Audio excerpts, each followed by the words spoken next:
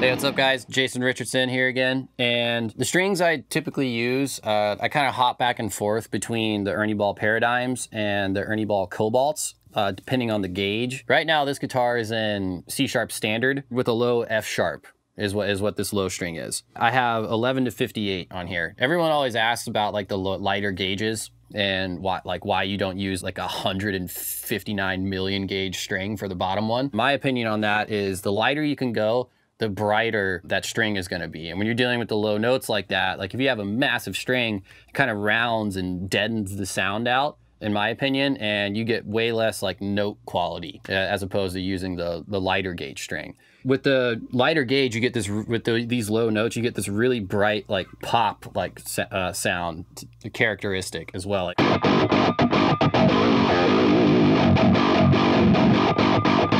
Can still there's a lot of note in there as well as that super percussive kind of sound. I just have never been able to get that with the thicker string. And like the thicker strings, they uh, they don't vibrate as much as opposed to the lighter ones. They tear your fingers up. Everything about the lighter gauge for the lower notes is like is obviously there's like a cutoff point between where it starts to waver like a, a lot. When I'm tuning, I try to use the same kind of force that I would be for like playing the song live. So that way, when I'm hitting it, even though it's the lighter gauge with the super low notes, when it is when it if it is gonna waver just the tiniest little bit, it does it right at that exact pitch that you would need it to be for playing live. If you're used to playing the super low or the really, really heavy gauges and then switching over to the lighter one, that's not something you would want to do. Like if you're on middle of the tour or something, just want to, oh, I'm just going to use lighter gauges. That's, that's, I would not recommend that. Just everything about the lighter ones just feels better and they sound better as well. But yes, you do have to be a little bit more controlled with your right hand and like and um and making sure that when you're tuning the low string, you're using the same force that you would be live.